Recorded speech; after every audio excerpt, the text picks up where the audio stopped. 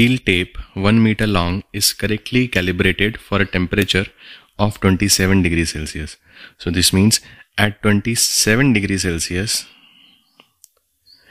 the 1 meter of this steel tape is the actual 1 meter. So let's say this is 0 of the steel steel tape. So this mark is 0. Suppose we have the 1 meter mark here. So this 1 meter is actual 1 meter.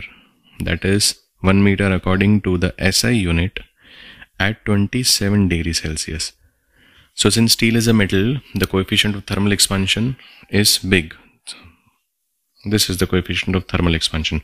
So on a hot day, it would expand. On a cold day, it would contract. So on a certain temperature, that is at 27 degrees Celsius, it is exactly 1 meter. The 1 meter of the steel is exactly actual 1 meter. Okay. Now the length of a steel rod. So we have a rod here.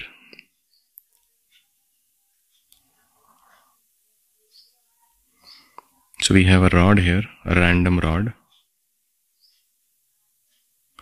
The length of this rod is measured to be 63 centimeter on a hot day when the temperature is 45 degrees Celsius. So on a 45 degree Celsius hot day, the temperature of this rod is 63 centimeter. That is measured by the steel scale. So even the steel scale has been expanded. It is not the one meter scale now. The one meter of the steel scale is not the actual one meter. It is a little more. So the reading obtained of this steel rod would also be more. So it says 63 centimeter. So 63 centimeter is the expanded measurement of the rod.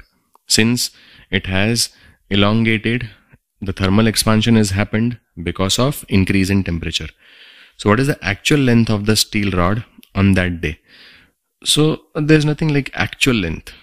So in this question, what he means by actual length is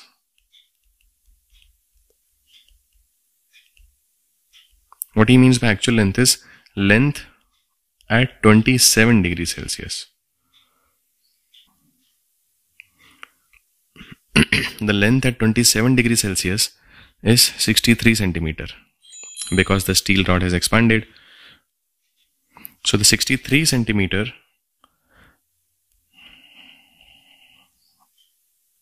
is the expanded length at 45 degrees Celsius. It is the expanded that is shown by the steel scale. The steel scale is also expanded. Okay. So the 63 centimeter shown by the steel scale is not actually 63 centimeter. It is a little more. Since the scale, the ruler is also expanded. So it is not 63 anymore the length of the ruler has also increased by a bit. So we don't know how much. So we have to find that out. So it shows 63 centimeter at 45 degrees Celsius. So at 27 degrees Celsius, what would it be showing? So we have to find that out. So we know the formula delta L. This equals L alpha times delta T. Now delta L is final length minus initial length. This is equal to initial length alpha delta t.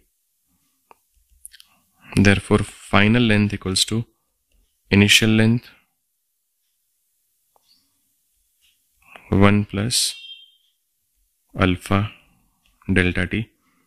So, initial length is initial length is the length is 27 degrees Celsius that is 63 centimeter 1 plus alpha here is 1.2 into 10 raised to minus 5 and the change in temperature 45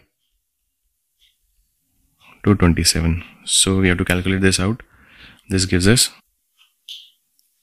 63.013608 centimeters. So this is the actual length on the hot day. The same rod on the day of 27 degrees Celsius would be 63 centimeters long. But on a hot day of 45 degrees Celsius, the rod actually is 63.0136 0.08 centimeters long. Okay. What is the length of the same steel rod on a day when the temperature is 27 degrees Celsius? So on a day when the temperature is 27 degrees Celsius, the length of the rod is 63 centimeter. So that is the initial length. The length at 27 degrees Celsius is 63 centimeters itself. Okay, I hope that is clear.